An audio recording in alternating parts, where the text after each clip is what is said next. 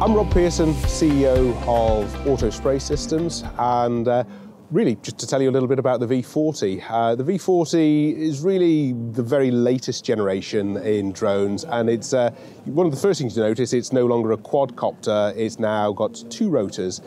And this is really to improve its spray uh, performance by reducing the uh, turbulence in the downdraft. You have two spray nozzles, one directly below each uh, uh prop, which gives you a much more targeted and more controlled uh, spray application. Also, one of its key advantages, the arms now fold in, so you can fold it in very quickly and pop it into the back of the truck, and away you go. You no longer have the big arms sticking out.